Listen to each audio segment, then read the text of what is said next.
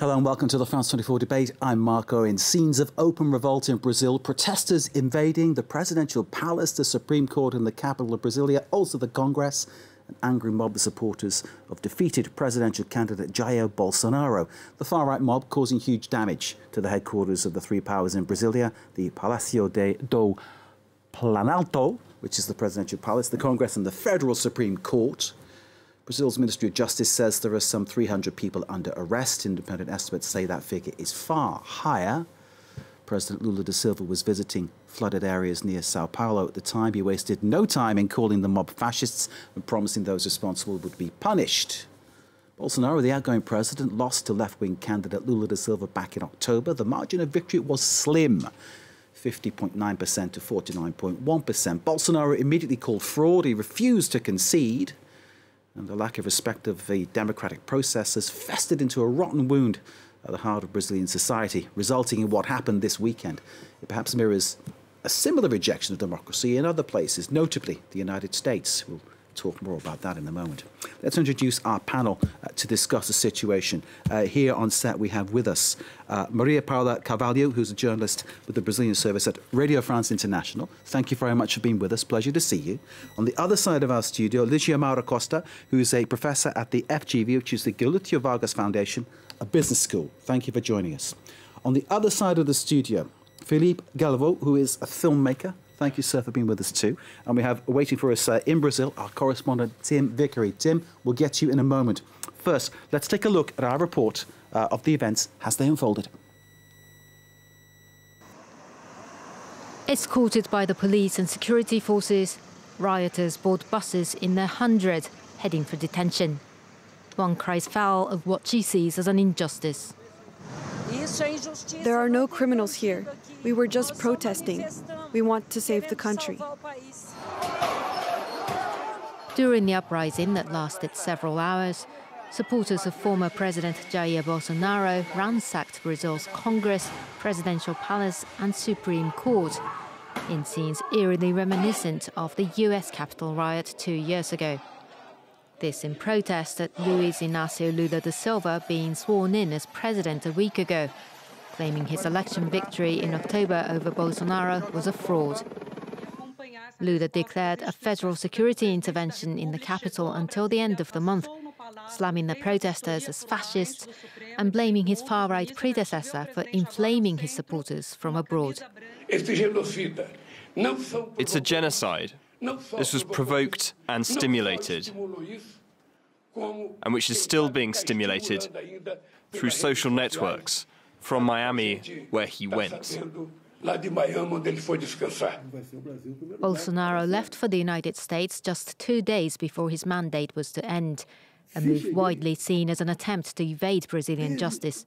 He took to Twitter rejecting Lula's accusations and saying the invasion crossed the line. Peaceful demonstrations, in the form of the law, are part of democracy. However, depredations and invasions of public buildings, as occurred today, as well as those practiced by the left in 2013 and 2017, escaped the rule. Brazil's Supreme Court removed the governor of Brasilia, a Bolsonaro ally, from office for 90 days over security flaws.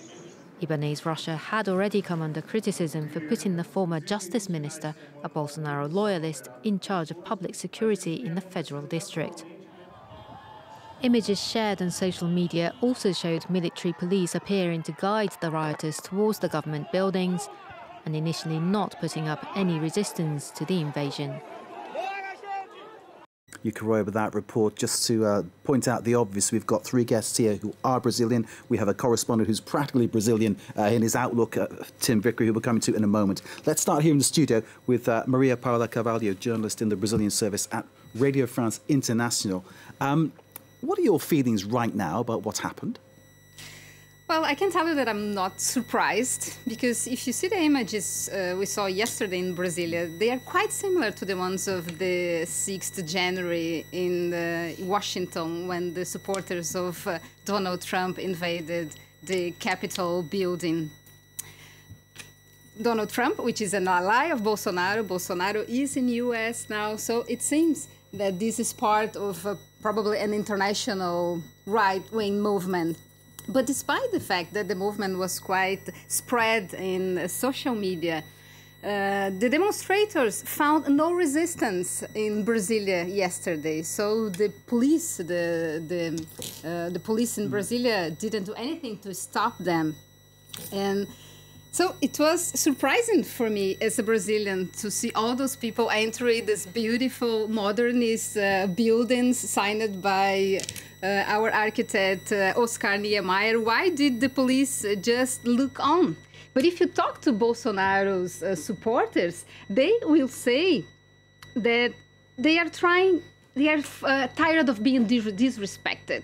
They are tired of being robbed. They will call Lula a robber, a thief. You know, I told you here when we came to talk about the elections. discussed it that before, if yes. Lula is the most loved man in Brazil, he is also the hated, hatest man in Brazil at this moment. And so I think people don't forget that he was involved in the car wash investigation and this uh, supposed uh, involvement of him with corruption.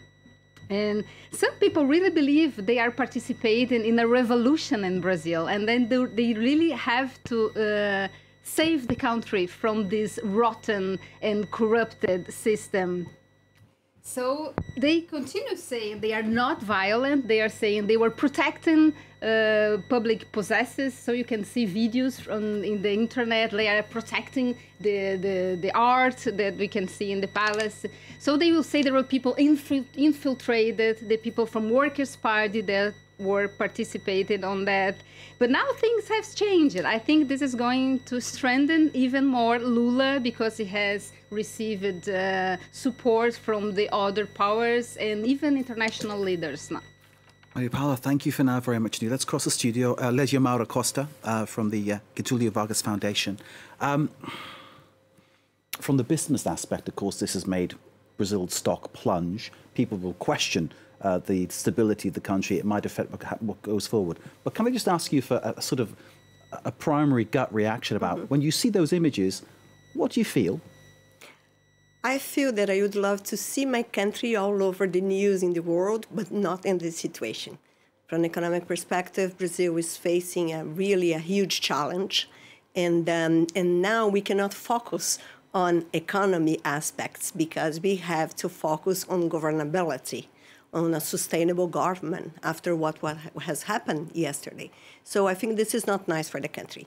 On the, on the other hand, what it is good, it is that the stock exchange market has just, you know, remained stable today. So, So- this, so is, th- this uh, is really, you know, something that we have to think about it. I've read there's been are- a fall. There's been no real fall in no, stock. no, no, not Okay. today. Interesting. Not today. This is very interesting mm. because you know everybody thought that the dollar would go up and etc. However, the stock exchange has just you know remained waiting, like like you know waiting to see what is going to happen. And uh, so this is at least it, it is good. But the bad part it is that instead of focus on economy, on the economic aspects, because Brazil is really in need of, of that, the government now has to focus on governability issues and see how we are going to handle this situation. Because, you know, there was an intervention. You know, the governor from the, the, the federal district of Brasilia has been put putting away from my perspective, in the right way, what has been done by the Supreme Court. Because, you know, they, as Maria Paula has just said, police officers, they just watched. They almost, you know, there was a movie where they were drinking coconut water with the manifestant while they were invading, you know, the monuments in Brasilia. So this is, So this is can I just can- really... can I just can I just repeat that? So so the, the police drinking coconut water with the demonstrators as they were actually marauding and taking over the Yes. The, the, While the seat of the presidency. Breaking everything, so it doesn't make any sense. Sorry. Well, so it- um, this I'm is just- really a, a little bit too much. It's really saying something, Yes. isn't it? But it's Yes. interesting about the, the, the, the economic aspect of that. But one wonders, like you say, if the government is now going to look at sort of rule of law rather than helping ordinary people, and there are lots of ordinary people who need help from the government, then obviously that's short-changing those, those people, sadly. Thank you, Ligia Maura, for that. We'll be back to you in a second. Uh, Felipe Galvo, filmmaker. If this was a film, people would say it was just too much of a fantasy. They wouldn't believe it, would they? It's an horror, horror movie, Horror movie, yeah. and uh, but it's a horror movie that uh, uh, that took place a long time ago, and we are seeing the climax. And uh, yesterday there there were four hours of chaos, and the message for me is clear: there will be four years of chaos, and um, there will be no peace. So that's during the, the mandate of Lula. There will be. Yeah continued provocation. That, that's it. For me, it's a, it's a movement that is, is very profound, is very, uh, how do I say, mo molecular. There, were there were not uh, a leader, uh, leaders, very clear leaders of this movement, and uh, it uh, the tendency is, to uh, that it will the episodes like like that will be frequent.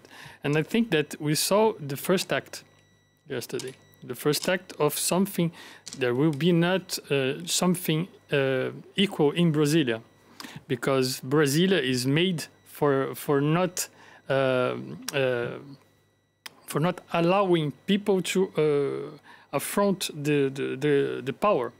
So uh, it was made like that the is architected for this. Oh, so it was actually designed Design, architecturally to stop yeah, this kind of confrontation. To, to stop very very rapidly uh, um, some protests, some some. Uh, so hang on, let, let me. So so Niemeyer, the architect, designed yeah. this place in order to help the police stop what was what might happen. And even.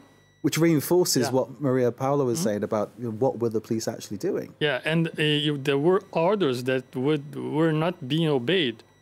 You know, uh, for example, that's why the governor of uh, the federal district was uh, ejected because uh, they, uh, it uh, happens that he he was supposed to um, to make the policeman go at, at one time and he didn't did anything and even worse the policemen don't didn't show up they received orders and didn't didn't show up I have uh, some uh, some people in Brazil that uh, work in the in the justice, and they say they said to me that there were clear orders to to to to policemen to go, and they voluntarily didn't go. So it, it shows a, a, bigger problem than, than we thought. Indeed. A police officer is a human being. A human being obviously will have a exactly. political leaning or, or a sense of what goes on. Or, but obviously, one would expect with the police, there's this idea of duty, which is over and yeah. above what they should feel as people, and they should apply the rule of law to the situation. Yeah. We're kind of saying that didn't happen. Yeah, and I think that because Bolsonaro and Bolsonarism uh, it touched uh, some identitarian, some uh, ideological level in these people. You know, conservative values and security levels, uh, security values. Okay, um, politics can often be a very, bit of an illusion. Very, very. Can I just pause you? I need to bring in Tim from Rio. Tim, who's been observing the matters for us. Tim Vickery, good evening to you, sir. Um, there are many questions. Uh, can you provide us with some answers? What, what's your sense, Tim, of what went on? Uh, you've, you've heard the questions raised by people here in the studio. Uh, give us your assessment. Well, let's compare this with January the 6th in the, in the States two years ago, because I think it's an interesting comparison. Um, on the one hand, the timing of this is different. It comes after Lula has been sworn in as the country's president. Now, that places all those people involved in yesterday's action in a very delicate legal position. Perhaps that's one reason that although fleets of buses were laid on for supporters free of charge, everything paid while while you're in Brasilia, the mobilization was nothing like we've seen in the past for big pro Bolsonaro rallies. Now, what Bolsonaro doesn't have in comparison with Donald Trump is a huge political party behind him to pump out the big lie, pump out the idea that the election was uh, was a question of fraud. Uh, and what we're seeing here is the far right looking increasingly isolated in Brazilian society. On the other hand, what Bolsonaro does have is significant support inside security forces, inside police, inside the armed forces. What happened yesterday cannot happen without uh, without an inefficient police presence and a police presence determined to be inefficient. The positive thing from Lula's point of view is that the institutions have hit back. We had a possible flashpoint today because uh, the, the far right, they've been camped outside military barracks now for more than two months, calling on the military to take over. And it, it, was from there on Sunday that they walked down to take control of these buildings. That Bolsonaro camp, that should have been dismantled a long time ago. The military seemed reluctant to do that. Overnight, we had hard and fast orders from the Supreme Court for that camp to be dismantled. You wondered would the security services carry out that mandate? They've carried it out. The camp has been dismantled. So Lula's institutional position seems to have been strengthened by the action. There hasn't been a mutiny from the army in terms of uh, dismantling the camp today. So at the moment, the far right, it certainly is a presence. And that could be a presence that exists independent of Bolsonaro. If Bolsonaro doesn't want to move, doesn't want to leave this movement, this movement still exists. What do they want? Well, they want Lula to be deposed. They want the military to take over. Fundamentally, I don't think this has a great deal to do with accusations of Lula's corruption. Fundamentally, these people really believe, they genuinely believe, that there is a communist threat to Brazil. It's bizarre because for anyone like myself who grew up in Europe pre Mrs. Thatcher, the first Lula government, you couldn't remotely describe it as a left wing government. It was very much a government of the centre. And that's even more the case with this new administration. It's a broad front administration, but we are dealing with a phalanx of the far right who seriously believe that they are trying to save Brazil from a communist threat. Uh, and uh, that's one reason why a leading social scientist over here says Brazil is a laboratory for an alternative reality. New media have created a new reality for a phalanx of people who it's going to be very difficult to assimilate them, to re-assimilate them into democratic society. Tim Vickery, fascinating. Thank you very much indeed. Your explanation is, is thorough, but it raises even more questions. Uh, we'll get to that in a moment. Let's take a look, as we've already alluded to, about the parallels between what has happened in Brasilia and what happened in the United States on January the 6th, 2021. Fervent mobs who believe they're doing good for their country by attacking its highest institutions. The police being incredibly ill prepared, even raising suspicions of possible complicity. For many, scenes playing out in Brasilia were like a deja vu, happening two years after the January 6 Capitol riot in Washington. Both were triggered by far right presidential candidates refusing to recognize the outcome of an election. This is not about the continuity of the electoral process. This is terrorism. It's a coup. When he was president, Jair Bolsonaro earned the nickname Trump of the Tropics for his nationalist agenda and leadership style. Both were outsiders who challenged the political establishment. Bolsonaro's rejection of his election defeat as a fraud seems to come straight out of Trump's playbook. And just like the former US president, the Brazilian used social media to spread lies and incite outrage among his loyalists. However, there are also notable differences. Trump was still in power when he encouraged his supporters to head to the capital to stop Congress from certifying the election result. The riot in Brasilia came one week after Lula was inaugurated, with Bolsonaro having already left the country there is no kind of Brazilian embrace of the big lie like you had in the United States. Uh, and I think that's a very fundamentally different starting point, and that's an advantage for Lula. However, Lula does not enjoy majority support in parliament, unlike Joe Biden did when he took office, and will have to work with a Congress that is largely in the hands of his political opponents. Roy, with that report, just to remind people, back in October, of course, it was uh, Lula who, as the, the leftist, uh, controversial in many ways, uh, loved by many, hated by others, who, who was elected by the narrowest of margins. His primary policy, I suppose, to bring more fairness to society, save the Amazon rainforest. Bolsonaro, very much to the far right, someone who would actually sort of really encourage the development of the Amazon rainforest. That, in other words, is saying the destruction of it in many ways, and that alarming the whole world that that should happen. And he, of course, refused to recognise the result. And uh, just before he was uh, out of power, of course, he went to the US, where he still is, and he's currently, we understand, in hospital with abdominal pains. We're told by his family uh, that it's not life threatening. Let's get back to our panel. Uh, Maria Paula Carvalho of RFI's Brazil service. Can I bring you back in? This idea, as Tim was talking about, as we heard in the report, that there's this whole sort of uh, conspiracy theory happening across Brazil. I mean, that's an alarming thing. Philippe uh, told us the, the first round was um, last Sunday. I would say it was the 30th um, October during the elections. Because for those people that were in Brasilia yesterday, they think Lula should not have run for presidency. This is something you don't talk a lot here in Europe. That Lula, okay, he was acquitted of the accusations, but only because the Supreme Federal Court has decided that Curitiba, in the southern part of Brazil, was not the right jurisdiction to take care of his uh, investigation. So technicality. Because he has been condemned in many levels of the Brazilian uh, judicial system. So those people really believe Uh, that Lula was no, is not his president.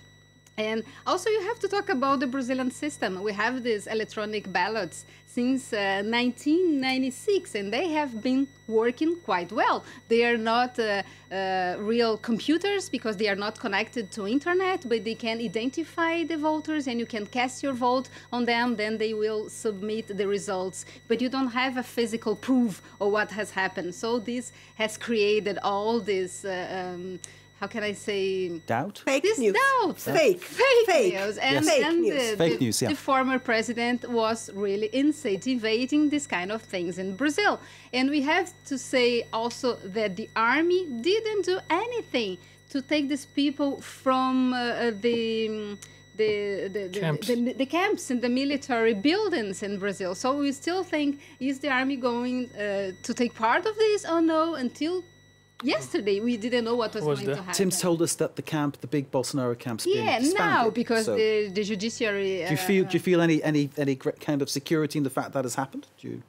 I think they, they shouldn't be there like for months and you know they say we are families look there are children here we are not going to be violent but at the same time they don't accept the law they don't accept the result of the elections without any proof. I'm a journalist. I would be the first one to check if there was a, a, a proof that something was wrong. So I'm still waiting to see the proofs that the the um, electric uh, electronic ballots don't work. The problem that you face and I face, Maria Paula, in what we do for a living is that people out there will turn around and say, You're just part of the media conspiracy, that kind of, of thing. course, You know, especially in Brazil now. They don't believe in journalists anymore. And this is. Yeah. Okay. fact. Here we're trying to get to the truth of the matter. Uh, Ligia Maura, can I bring you back in from the uh, Getulio Vargas Foundation? Uh, business is what you deal with, but obviously you're Brazilian and you've got a whole view of And this, I'm this lawyer. entire thing. And a lawyer too. So there we go. We've got all bases covered with this woman, which is fantastic. Uh, in terms of the, the whole legality of what's been done, I mean, clearly, you know, there's a whole raft of laws that have been broken, and we, we could go through all those and probably sort of take up all the time for discussion. In, in terms of what happens next, Lula says people will be prosecuted. I mean, basically, there, there it sounds like there'll be a lot of people to be to be gotten hold of. 300 in custody, we believe, maybe more. Maybe more, maybe more. I read that it's 1,200 that have been, you know, in custody. We'll get Tim to if confirm I'm in not, a Yes, moment, if. I'm not mistaken. And um, and now they are going to face process, you know, a fair process, and they have to be put in jail. They have to be prosecuted. This should never ever have happened in Brazil. Plus, we have also to look after police officers, even the army, even the Brazilian intelligence, because actually now that you start reading things, there were a lot of WhatsApp groups actually talking about that. Buses have been, you know, offered to people, you know, to go to Brasilia, offering food, etc., etc. So we have to go after the money to see who is financing this, because this is terrorism. You're not mm, talking about, you know, communist, oh, I am against communists. No, no. Now we are talking about terrorism. And the, the, the, judicial force, they have to, you know, to do something. They have to prosecute people. They have to investigate. And uh, we cannot admit in a young democracy like Brazil that this thing can happen, ever, ever. You know, if you, this is not democracy. If you don't like the president, sorry, you lost. Move over. In four years, you're going to change and try to change, but not, you know, do what you're doing. Just, you know, forcing your candidate or asking for a military intervention. Military intervention is a dictatorship regime. I don't know if they understood that. Maybe the idea is that they don't understand that this is dicta- dictatorship. So this is not what Brazilians want the majority of Brazilians want. Of course, Brazil lived under a period of dictatorship exactly. until the mid 80s. And I think that that's the reason why Brazil took a while in order to take off the camps because of the dictatorship regime. People didn't want to, you know, if we move forward, maybe people will feel that, you know, this is uh, too too strained, and maybe will become the movement a little bit stronger. Maybe maybe that's the reason why the army said no, we are not going to move. They are going, you know, to spread um, a little while. But now after that, I think that the Supreme Court did, you know, the right path. Now you have to stop, stop. It's over. Okay, thank you very much indeed, uh, Ligia Maura, for that analysis. Let's go back to uh, Felipe Galvo, our filmmaker. Um, Felipe, I hate to sort of come up with another sort of film line to you, but it, I'm going to do it. Um, it, it. You could almost make, from your perspective, a kind of a yeah. parallel, parallel reality piece between Bolsonaro and Trump and what happened. I mean, it's alarming that there is such parallels, isn't it? Yeah, but at, uh, at the same time, no. Uh, I just came from Brazil. I was filming a new film there, and I was I happened to to to be there in a Bolsonaro pro Bolsonaro camp. One of these. One of these actual camps. Yeah. Okay. I I, I ran off because uh, some at some point I I had to I had to, to run off because there was a lot of hostility because I have a camera. So they, they Purely simply because you had a camera. Yeah, yeah. Were asking uh, more good questions? Oh yeah, yeah. People with arms. Yeah, a lot of questions. Okay. Hey, what is your name? What is your name? What is your Instagram? So I gave a, a fake name, and uh, I was with, uh, with an assistant, and uh, they we managed to to be there for like uh, 15 minutes, 20 minutes at, at most, and then uh, we run off, and as uh, Tim Vickery uh, said, is really a laboratory for an alternative reality, a laboratory for a dystopic world. Brazil, uh, I, I, happen to, to film film this. I'm I'm doing a film about this parallel between what happens in Brazil, it what happened and what happened in France since the Yellow Vests uh, movement. And for about four years that I, that I wrote that and that began began this movie. Uh, oh, I always heard that it's nothing to do with. It is there are two different different realities. You can't do this parallel. And now, since yesterday, I'm hearing in all the, the TV shows and the and the, the journal that this parallel can be done because the, it's the same uh, form of, of organization, non-organization. As a matter of fact, I think that uh, what happened in 2013 in Brazil is more likely what happened with the Gilets jaunes. But 2013, that was the biggest movements uh, against power, against the system. This, the, the words were that. It evolved in the, Bus, in the Bolsonaro, pro-Bolsonaro, pro-military uh, demand the pro Bolsonaro movements. And so I think that more than ever, Brazil today is a mirror to the world. It, and to the to countries like uh, we, well, when we, are, we, we could think that France and Brazil could be in the same place. But I think that uh, Brazil today shows um, how what democratic disenchantment can produce. So you're saying the parallel with the Yellow Vest movement is the fact that it wasn't kind of led by one person in particular. There was a sort of sense of people with a, a mm. shared disgruntlement, a, a shared yeah. anger, getting together and then moving together. Anti anti-system uh, feeling, an anti-system uh, against this. Because I was there, and I, I, I, I the, the words I, I heard, you, if you if you if you if you don't see them, you can do so. Uh, so I'm in a, in a, as in a sanatorium. or I'm in the in a revolutionary uh, camp, you know, because they, as as you said, they they think they are part of a, a real revolution, a conservative revolution, and Lula is the enemy.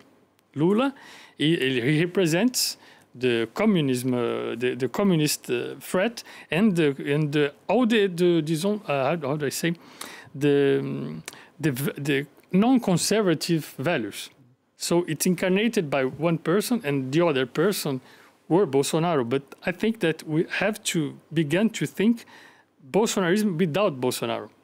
He, Bolsonaro we, uh, uh, uh, know, knew this, and I think that he will run off of Brazil. It's not by by by chance, by like uh, well, he, he, actually saw coming what is happening and yeah, what he should get he, out. I think it, it saw it coming. So you're saying that he he's, he's coming. not the person who's taking advantage of this. He's actually perhaps I, overtaken by it all. He he he, were, he, he was a, a revolutionary revolutionary leader. Mm. You know, for them. I would say that in 2013 the big uh, uh, riots was because the price of the transportation.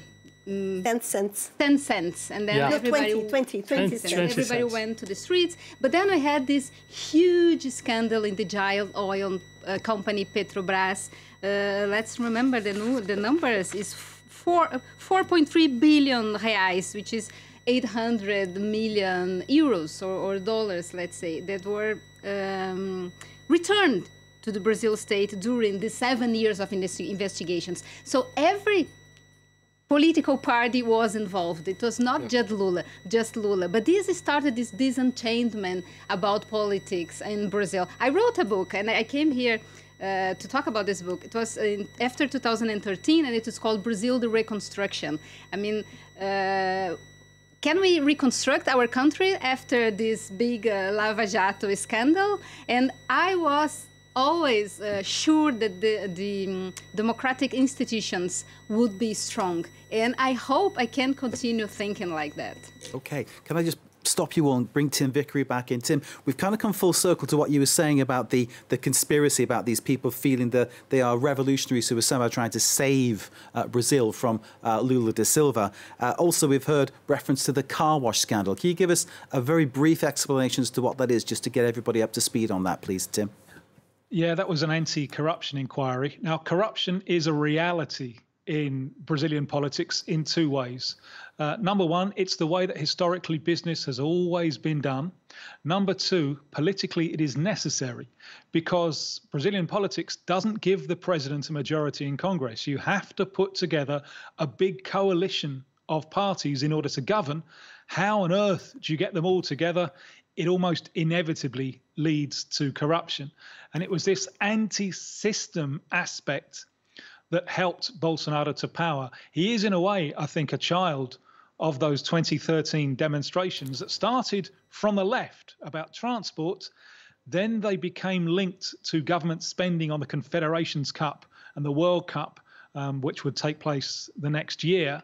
And originally, as I say, they were from the left. What happened was that a slogan took hold of those uh, demonstrations, which is my political party is Brazil.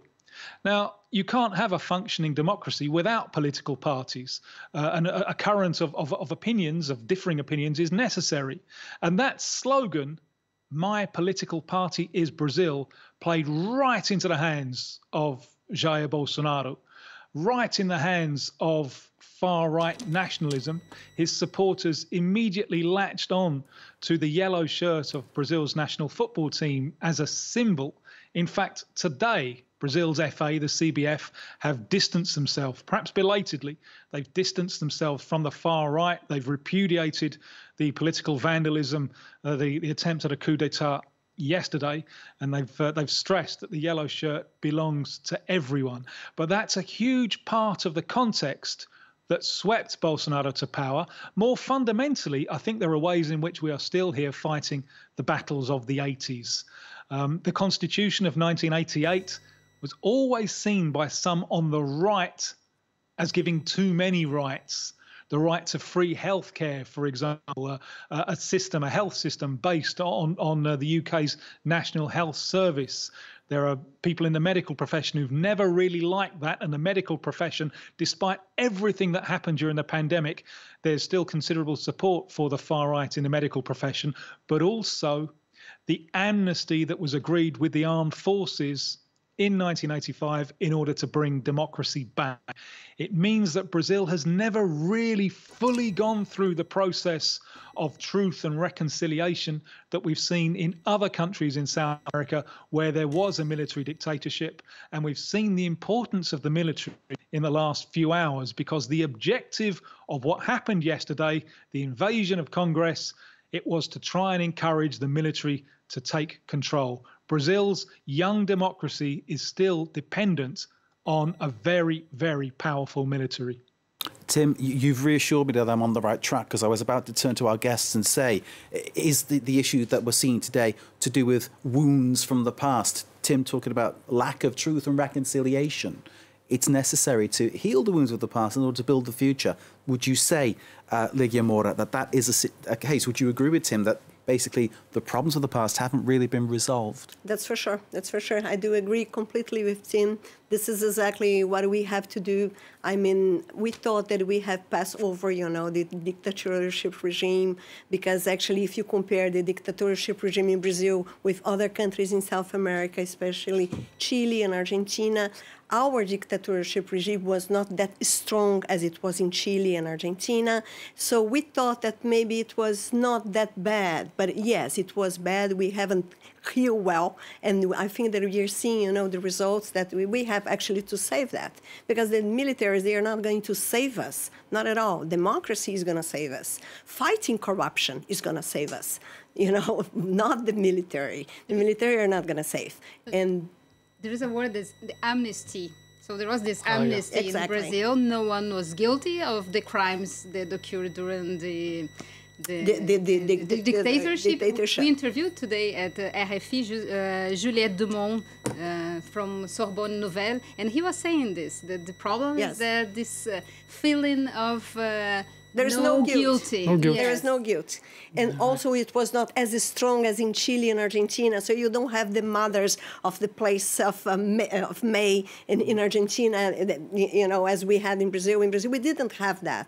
So maybe we thought that it was not that bad, but it was bad actually it was really bad and military regime was also corrupt people think, oh, they were not corrupt. No, they were corrupt as well.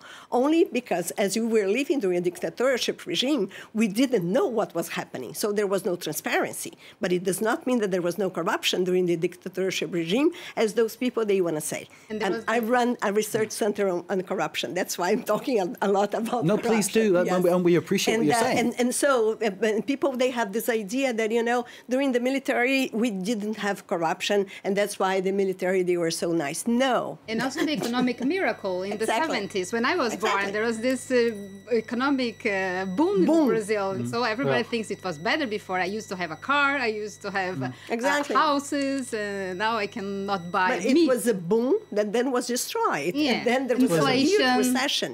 Economic. Several economic plans that did not succeed. It was only after democracy that we actually have been put in a better, better uh, path from an economic perspective. So Delfim Netto, one of the, the minister of finance forever and ever during the military regime in Brazil, I, I would say that, you know, he, he didn't do a good job because during several years, Brazil was in a recession. And, uh, and so this is generation on generation of, of whoever's in charge failing whoever votes for them basically. Each successive government hasn't really delivered for the people. Yeah, and the yes. foe is very, very strong when the disenchantment came and the pe- people are, they, they realized that they were in, a, in an illusion of uh, ascending, social ascension.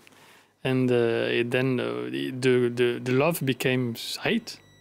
And uh, we, we saw what we saw is a product of this begun in 2013, like you said, and finish uh, in 2018.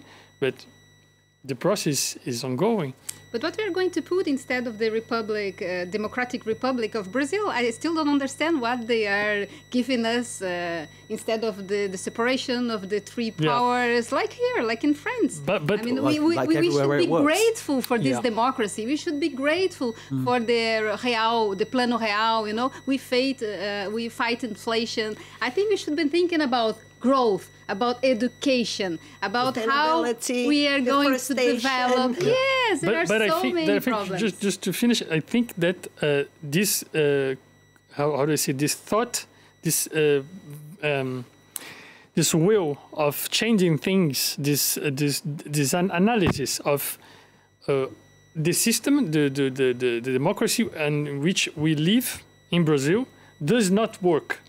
This is an idea that is was not wrong. Even the Bolsonaro supporters know this. Even the far right and the far right, uh, how do I say, are very happy to to to to have this this revolution, revolutionary uh, will. Uh, and I think that we we can't just say like I think that it was was a mistake. Say they are all fascists and terrorists. Well, Lula called them fascists. Yeah, yeah, because they there are people that are mad. There are people that are in the process of. Uh, uh, how do I say a collective process, then they don't know really why what uh, here what they are doing there, and I think that it's very, uh, it, we are in a very delicate moment. So democratic, democratic as an idea is in, at stake. So uh, if we, uh, how do I say, Uh, profoundly uh, uh, go with this, this idea of polarization, it will become even worse. You know, though, so Lula was elected to to change that, but I think that he, as a person, as a figure, can do that alone because he represents for these people in this very solid an enemy, not a, a uh, some a political adversary, an enemy, an enemy to, to be, and these people are ready to die for it. And you've met them. You've been in the camp. Yeah. You've, you've looked in their eyes. You yeah. know this. Yeah. This the is anger. Not you just, this is not you making it up. You've actually been face to face with these people. I saw hate. I didn't saw hate in my life. I saw hate. Saw it there. Philip, thank you. Let's go back to Tim Vickery. Tim, we talked, you ended talking about truth and reconciliation. Uh, we've established from our, our, panel that that is a long, long way off, isn't it? Um, can I ask about the, the trial process that Lula's promising? Because obviously he said that the, the fascists, to use his words, uh, will be made to pay for what they've done. Um, again, it's, is, this, is, is this something perhaps that's just going to polarize Brazil even more? The kind of hounding down and chasing of people, that, that process? It's, it's, it is, though, an inevitable process, isn't it? Yes, and I'm not seeing at the moment polarization. I'm seeing marginalization of the far right. Uh, many of the center right, the traditional right, are absolutely appalled by what they saw yesterday and scenes of just wanton vandalism to public property, to, to, to great works of art. And also that scene that really sticks out the mob attacking a policeman on a horse with iron bars and sticks and, and, and unseating him from his horse. And that for for the conventional right who favour law and order, that really isn't a good image. So at the moment, I'm seeing a marginalisation, and I think a majority of society would like these people to be confronted with with due process. I'm fascinated uh, by what Felipe's just told us about the hate that he saw in in, in people's eyes and and uh, people willing to die. I don't uh, dispute his conclusion at all. The question I ask is, what are they dying for? What are they prepared to die for? Because in my experience, if you ask these people, what do you really want? What do you want? Now, once you, let, let's say you've got rid of Lula, you've brought in military, what do you want? I have never received a concrete answer. And the, the, the Bolsonaro slogan, the, the, the God, uh, uh, country, family, it's just so vague. What does it mean? What does God mean? even within one religion, there are hundreds of different interpretations. What does what does country mean? When Bolsonaro's nationalism seemed to be following the foreign policy of Donald Trump's United States rather than the interests of Brazil. It all seems so vague. They're prepared to die, but what really do they want and what are they prepared to die for? I still don't know. Tim Vickery in Rio, thank you very much indeed. Thanks to our panel here in the studio. They are Maria Paula Carvalho of Radio France International. Great to see you. Over the other side of us, Ligia Maura Costa, professor at the FGV, which is the Getulio Vargas Foundation. Thank you for your insight. And thanks to our filmmaker, Philippe Galvo. Thanks for your insight, sir. He met the protesters and saw them eye to eye. Thanks for watching. Stay with us. You're watching France 24.